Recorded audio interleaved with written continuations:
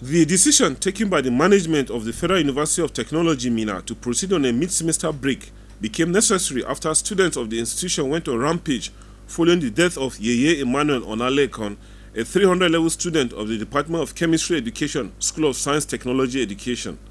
During the demonstration, the aggrieved students burnt down a section of the clinic, equipment, generating set and drugs.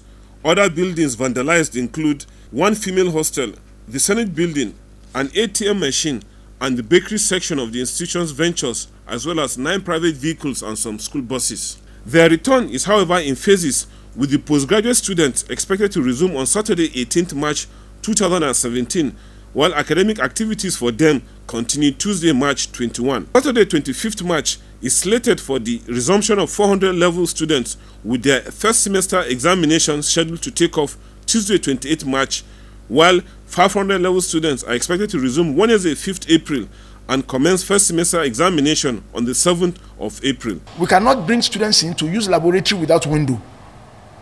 That the temporary clinic cannot handle 8,000 students at a time.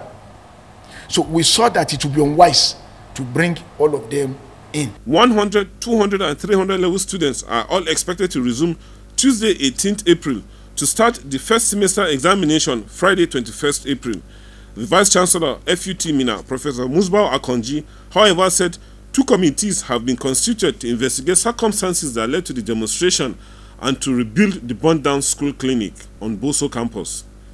In Minna, Dauda Mohammed, NTA News.